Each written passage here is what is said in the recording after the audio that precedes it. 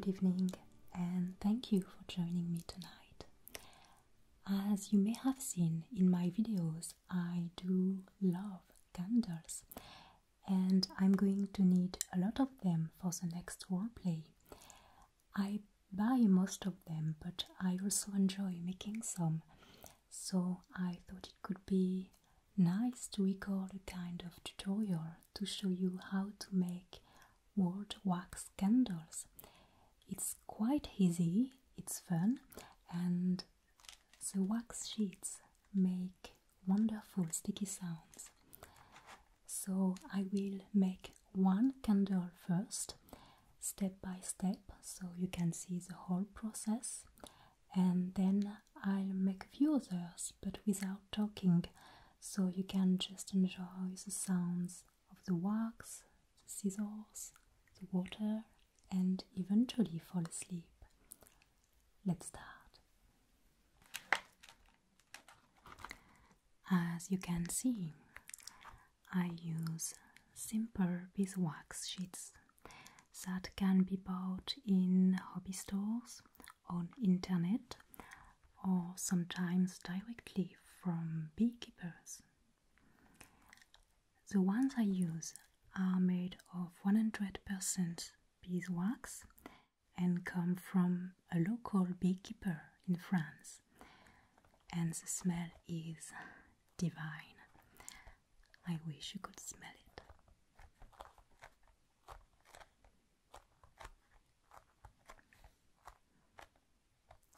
So, for this, you don't really need scissors, they can easily be cut with your hands.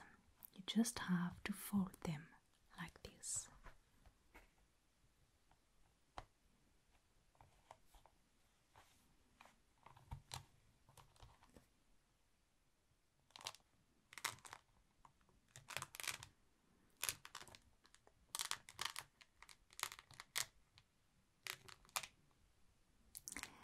Depending on the candle size you want, you can use a quarter, a half, or even the whole sheet. I usually break them in four parts to make four small candles.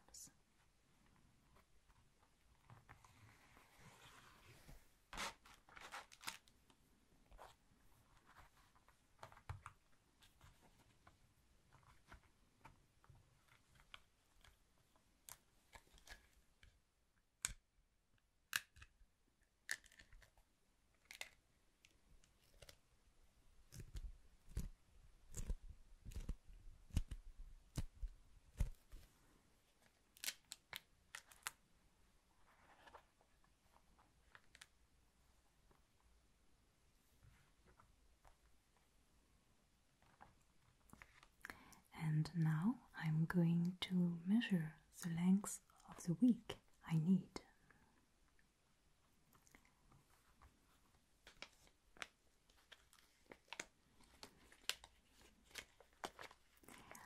I use cotton wick and the diameter of the wick depends on the diameter of your candle. If you want to make large candles, you will need a thicker wick or it won't burn well. This one is for candles that are not larger than 2.5 centimeters.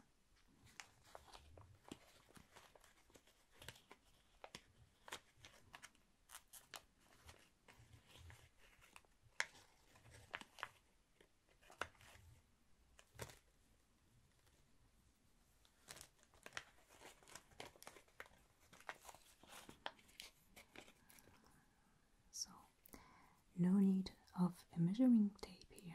All we need is the length of the candle, and you just let about two centimeters outside of it so you can light it. And we're going to cut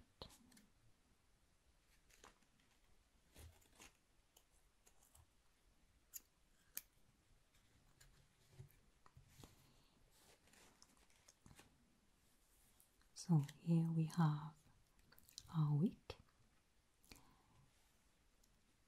and we're going to start the rolling. There are several options here. Some roll the wax just as it is, dry, and some others prefer to dip them for a few seconds in hot water so it softens the wax and it's much easier to roll without breaking the sheet. But it also means that you'll have to wait a few days before lighting it because the water will stay into the candle for a moment. You can also use a hair dryer to make it more pliable if you wish, but be sure to not hold it too close to the wax or it will melt. So now what I like to do is to dip into hot water the first two or three centimeters, approximately one inch of the sheet.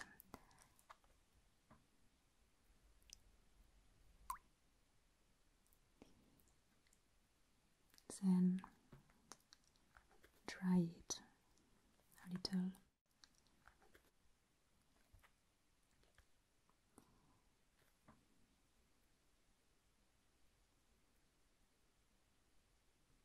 And this way it's easy to roll it tight around the wick at the beginning.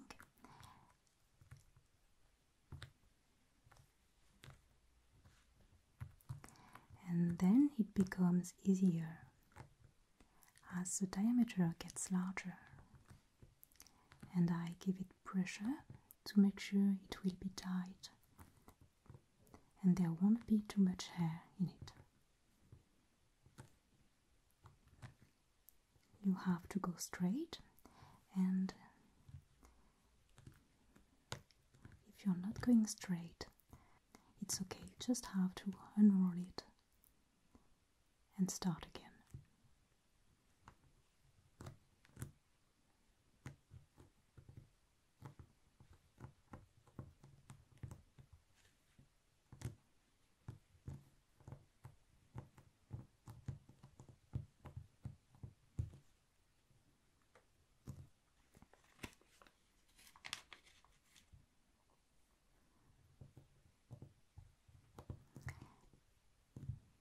And finally, I also dip the last centimeter of the wax band into the hot water.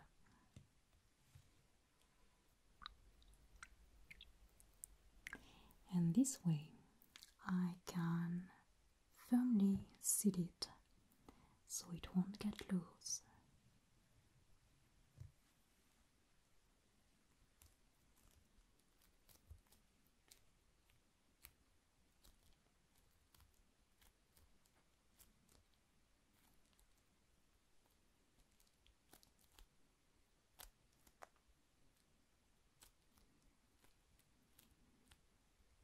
And here we go. As you can see, it is quite easy. And what's great with these sheets is that you can make any size or any shape. And of course, the larger you make the candle, the longer it will last. This one is quite small and will last maybe three hours. And the size is perfect for one of my favorite candle holders. We like to use these during fall or winter to make our dinners cozy. So now I'm going to make a few others and maybe of different sizes. Enjoy the sounds.